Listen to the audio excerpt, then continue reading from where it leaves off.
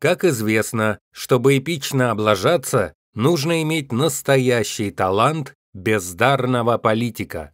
К несчастью для жителей российских просторов, у руля их тонущего корабля стоит настоящий ударник своего дела.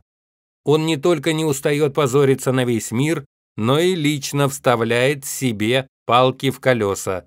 Владимир Путин – это настоящий клондайк, когда речь идет о политических и экономических провалах.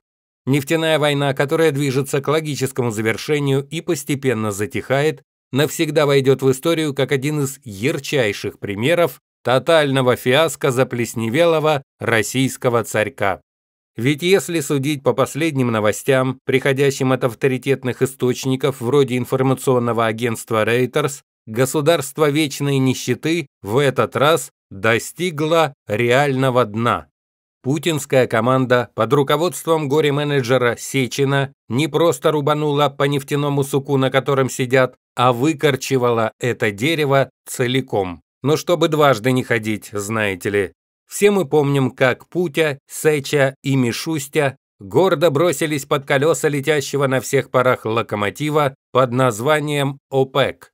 Тогда пропаганда выставила правительство Запоребрика такими молодцами, что им впору было выдавать прозвища супергероев. И появились бы на территории Мордора свои уникальные персонажи, вроде Нефтемена Сечина и Вовы Чернозолотце. Разумеется, нормальные люди понимали, что показательный выход из сделки с организацией стран-экспортеров повлечет за собой серьезный конфликт на рынке, Однако на территории этой страны осталось не так уж и много здравомыслящего населения. Поэтому плебс с радостью кушал фекалии, льющиеся с экранов ТВ. Тот факт, что нефть в один миг упала на самое дно, их мало интересовал. Зато этот нюанс навел серьезного шороха в правительственных кабинетах. Путин лихорадочно пытался понять, каким образом прикрыть свой позор и сохранить лицо, не запачканным ошметками иллюзорного величия. Что же происходит на фронтах нефтяной войны в эти дни? Как мы и ожидали, России придется дорого расплачиваться за дешевые понты. Димарш стоил ей не только репутации клиентов и миллиардов долларов, но и обернулся рекордным сокращением объемов добычи. Эксперты сообщают, что сделка с ОПЕК почти достигнута и сейчас идет обсуждение последних деталей. Соглашение будет заключено в ближайшее время, а главным проигравшим в этой истории, как всегда, будет гениальный стратег по фамилии Путин.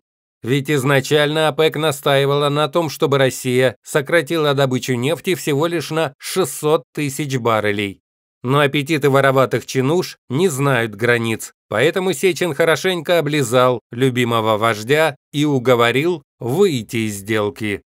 Нефтяная война вошла в резонанс с нарастающим экономическим кризисом, и эффект получился ошеломляющим.